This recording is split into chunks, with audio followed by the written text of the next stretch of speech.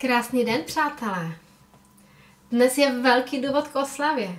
Pojďte si štrknout se mnou. Připíme na zrušení daně z nabití nemovitosti. Tuto daň, která byla 4% z kupní ceny nemovitosti, vláda konečně zrušila. Dokonce z platnosti k prosinci 2019. Kdo ji už zaplatil, tak mu bude vrácena. Ještě to teda musí schválit poslanecká sněmovna, ale to už snad dopadne. Já mám velkou radost, protože to byla úplně nesmyslná daň, která byla v podstatě zaplacena dvakrát. Poprvé zaplatíte daň z příjmu, které vyděláte. A po druhé, když si za vydělané peníze koupíte nemovitost, tak zase z těch vydělaných peněz máte platit daň po druhé. No není to jako blbých nadborku? Zbytečně to navyšovalo kupní cenu. A hlavně to byly peníze, které jste museli zaplatit státu hotově. Takže pro mnohé to byla opravdu velká zátěž a velký problém. Pro představu v číslech, z ceny bytu za 5 milionů to bylo 200 tisíc korun. Jak vidíte, všechno zlé je k něčemu dobré. Já jsem přesvědčena o tom, že kdyby nebyla koronavirová doba, tak by to vláda nikdy nezrušila. A mimochodem ušetří i realitní kanceláře, které platili klientům znalecký posudek pro finanční úřad. Je, a já jsem si teď uvědomila, že nebudu muset za klienty vyplňovat daňové přiznání, což mě fakt nebavilo. Takže hurá, hurá, hurá.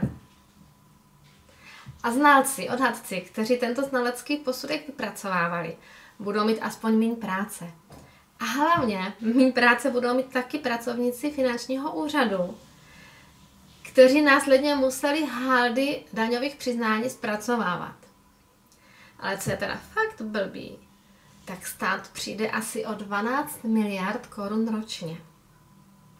A jediné, co nám ještě zbyde, je vyplnění daňového přiznání k daní zdržení, neboli vlastnictví. Dříve se tomu také říkalo domovní daň. A toto daňové přiznání se podává na finanční úřad pouze jednou, a to v lednu. A kdyby vás to zajímalo, tak video na toto téma najdete na mém webu www.alenapruchova.cz nebo na Facebooku nebo na YouTube. A prodávající by také mohla zajímat daň z příjmu, kde nastala změna. A o tom vám povím zase příště. A druhá změna je ta, že si nebudete moct od 1.1.2022 uplatňovat odpočty úroku hypoték. Ale do té doby je teď krásné období, rok a půl, eh, kdy nemusíte platit daň a odpočty ještě uplatnit můžete. Takže naprosto ideální příležitost na nákup eh, bytu, domečku, ať eh, se máte hezky. Pokud vás napadají v této souvislosti otázky, tak volejte, pište, jsem tu pro vás. Ráda vám na všechno zodpovím a pomůžu. Do té doby se mějte krásně, loučí se s vámi Alena Pruchová a připím na zrušení daně a na zdraví.